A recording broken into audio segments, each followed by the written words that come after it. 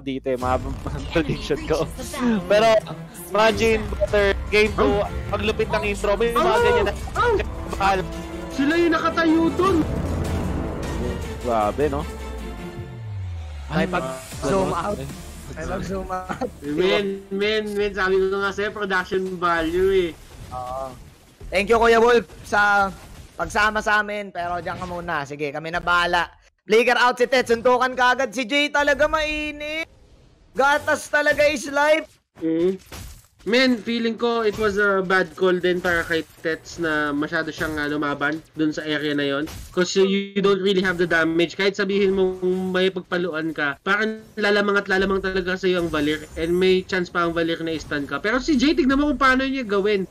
Etong uh, trabaho niya, he just goes in, tries to stun them tapos kapag kalalaban na sila dun siya medyo ano eh dun siya medyo bumaba para kahit pa paano walang bawi Oo, oo. At uh, syempre yung Valir, uh, level 1 pa lang, pwede siya makapatay kagad eh. Syempre with the extra passive, the stun proc, di ba, nung uh, putok-batok technique.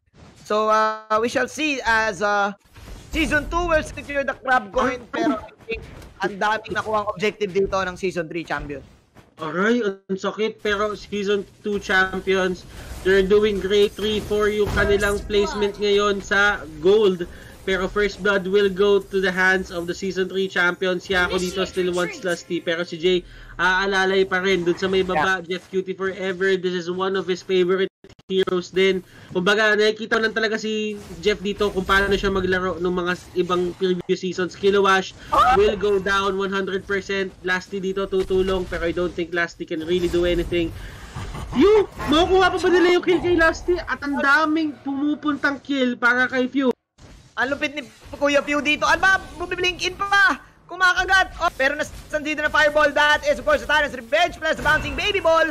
And the will uh, just support them out. Season 2 champions will get pick-offs. Few na meron siya mga clutch outplays dito sa top lane. At yun pa yung nagbigay ng bawi dito sa Season 2 Champions. Uh, Kuya Butters, pinag-usapan kanina na yung win condition dito ng Season 2 ay makukuha natin sa matagalan dahil nga uh, Hellcurt ko pero 3 kills agad. Actually, 4 kills agad ang nakuwang XP ni Pew and sa tingin ko dahil doon pwede sila makalamang. Mm, galing ni Ryu. Galing ni Ryu doon. Ang ginawa ni Ryu doon, pinpoint niya talaga na mahuli na lang doon si Few dahil wala na rin siyang mana. Kaya ako dito going for JJ dito hindi makakagalaw. Lasty trying to go for the health pero hindi kakayanin. Di dito with the health with the assist and that might be another kill going to the hands of Yako pero masyadong makunat si Lusty dito. Rio on the other hand, mananakawan ata siya ng blue pero sabi ni Jeff Cutie forever, tara tulong-tulong tayo pero I don't really think Jeff can do anything right now. Nastan si Jeff Cutie forever dito. He will pop up that pure purify pero sabi ni Yako papasok ako and mawawala ata yung buff na nanakaw nila. Rio dito doing a great job controlling things pero alam mo yung 7 kills na meron dito yung Season 2 Champions is because hindi nagiging maingat dito yung side ng S3 Champs. Yeah. And uh, I think it's all because of D din. Sa kanya mga clutch, ano, sa kanya mga uh, clutch stun. Plus the help of View. Remind you, si Pew dito, naka, ano siya dito, naka uh, Raptors machete siya kagad. Tsaka killing spree ulit. Tsaka killing spree ulit. Mainit, Kuya Butters.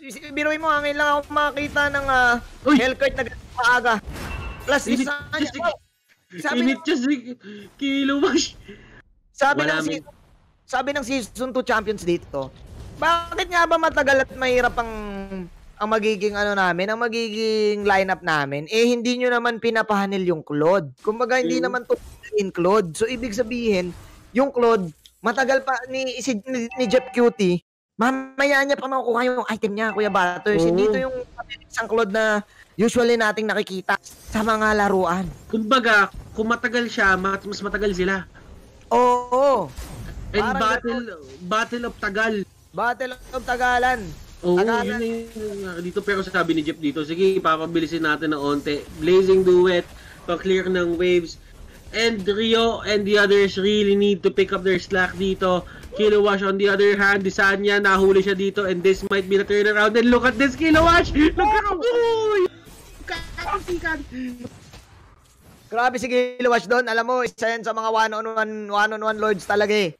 Si Gilowash eh. And uh, usually, uh, si Disanya, masyado rin niyang in-overextend yung sarili niya. Kuya Butters. And I, I think, ang pwede nating inote dito sa laban na to is egos talaga sa Lotus eh. Egos talaga, pre. Wala nga yung wala nga yung item sa laro eh. Paano pa kaya pag nandiyan na talaga, di na egon ka na talaga. Oo, oh, oh, nako neto. May nastan dito si Kuya Jay, pero pinuputok niya lang kanya mga fireballs. Lumabas ang payong dito, ladies and gentlemen. Pero Butters, look at the map right now. Few owning uh, the bottom side, getting all the all of the objectives. Butters, hindi ata natin nasabi kanina, naka-petrified din si Feud. I think that's the reason why lamang siya sa mga exchange, exchanges kanina doon oh, sa top lane. Yung, yung pa nakakatakot dito. Oo, oo, lupit. Yun yung nakakatakot dito sila Jet Cutie forever. Kung wala silang Purify, matamaan sila ng Petrify, goodbye. It rhymes. It rhymes. Totoo. It rhymes. Totoo yun. Tsaka ano eh, marang matik eh, pagka-silence mo, may extra magic damage ka, may kalmot ka pa. Kaya medyo sabi ni Pew, anong late game, late game, Kuya Manjin, Kuya Butters? Early game pa lang, papakitaan ko na kayo ng damage. O siya ako pero, dito na ko nakasipa pa, pero ito di niya, tutulong naman sa pinakalikod. Pero yung ano, yung, yung siege minion, yung siege minion, hindi tinantanan siya, hindi tinantanan nung to Torre. Matik yan. Oo. Oh, I think Yaku is uh, uh, utilizing the the cannon uh, para sa kanyang advantage to push that tower. And uh, with this, napipresyo na ngayon ang Season 3 kung saan sila didepensa. Sino nga ba ang kanilang uh, poprotect? Ah, yun na! Binagsakan ng bulalakaw na yellow! Bigan, tumakbo sila Steve. 8 lang pala, debated. Pero uh, basa na Tore, grabe naman yung ano doon. Yung, yung buhos ng mga skills. Oo. Oh, and uh, this is going to be a trend for this certain format of picks and bans na magba-back and forth, back and forth tayo. Kasi isipin mo na lang, naglalapag ng mga bomba, tapos medyo susubukan ng ibang team na ayusin lang yung... Ta alam mo yun, tamang sakto lang oh. yung kanilang mga pick. So you have to really expect these kinds of setups para dito sa MCI. Now, may makikita ba tayo mga team sa mag 3-0? Probably, pero napakaliit ng chance na yon kasi talaga nagbabago-bago talaga yung mga ano natin ngayon, yung mga heroes natin ngayon. Yeah. And uh, man, uh, I think dapat hindi ka na nagpalit ng prediction, Kuya Butter. Kasi yung Season 2 Champions, piling ko, nakuha na nila yung groove na gusto nilang makuha. Men! Uh, ganitong game. Men, okay lang yan. Nag-enjoy lang naman tayo. Oo nga eh. Nag-enjoy lang tayo. Na-enjoy ko lang to. Bihira yung mga ganitong chance. And uh, technically, it's not as serious as uh, yung MPL. Pero alam mo, there, there are times na talaga kailangan mo na lang mag-enjoy sa buhay-buhay. Pero right now, there is something happening into the middle lane. Rio going for that Shogyo Mogyo. Tingnan natin si Sanya dito.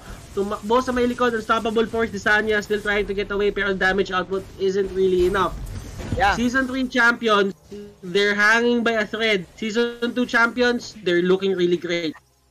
Yeah, uh, I think yung yung early game dito na wala para sa side ng uh, ng season 3 champions that Star Moon won't connect pero the story is the same. Season 2 champions creating space for few to farm and for few to make plays all throughout the map.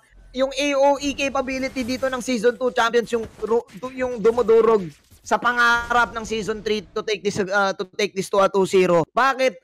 Kuya Butters, ang dami nilang setup eh. And uh, sobrang commendable si D dito as a support. Hindi tayo si D pare. Ang dami niyang tinatamaan ng kanyang ano, ng kanyang pros, ng kanyang Pride of Ice. No. Yung, yung passive ng Aurora na stun, laging, laging on point, laging on the right time.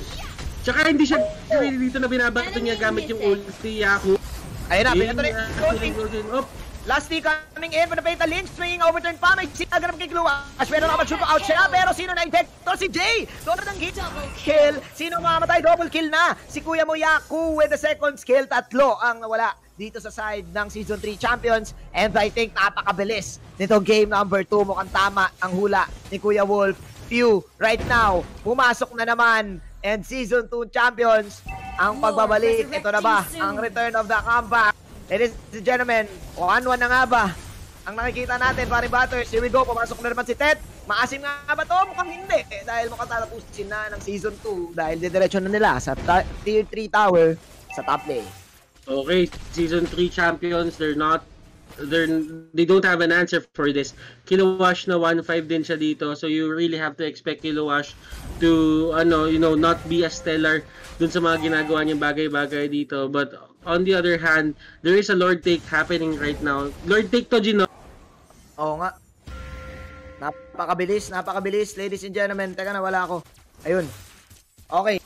Nahirapan din si Jeff eh, no? Wala nang siyang napatay, even though naka-bounty siya, wala uh, nahirapan siya mag-farm. I think ito yung dilemma ngayon ng uh, Claude kapag nasa bottom lane eh. Mas matagal eh. Sa Mm. bilis ng laro ngayon. Men, kailangan mo lang talaga abangan dito kung paano nila i-set up yung sarili nila na Oh. in a way na hindi sila basta-bastang uh, mabubuli dito for the side of season 3. Kasi hindi mahanap ni Lasty yung pinaka-setup na kailangan niya gawin eh. And it's all because of D. Si D dito, hinaabangan niya, binabantayan niya kung ano yung mga dapat ginagawa dito ng other team and pinipigilan niya. Kumbaga, with just one ultimate, nagkakaroon na ng problema dito yung S3 champions. And it really looks great for them. Ang kulit eh, For no? season Pag 2, nag-go- rather. Oo, oh, pag nag-double team na si Lasty, pero ayan, mahuli niya si D, pero nagpagabi na. At ayun, yung wala sa gilid. Tapos sabi niya, ako, ako naman, ako na magiging, magiging bida ng taon dahil double kill na siya habang may nangyaring clash doon. Dalawang kilid. Sabi dito ng season 2, it's time. Game number 2 ay sa amin na 1-1. And man, we expect no less season 2 champions back in the series. 1-1 na tayo ngayon and they're just having fun. All smiles mga kaibigan. Iya ako dito. Pabilog. Bilog eh, bilog ang Pabilog. Pabilog. Bilog ang dito.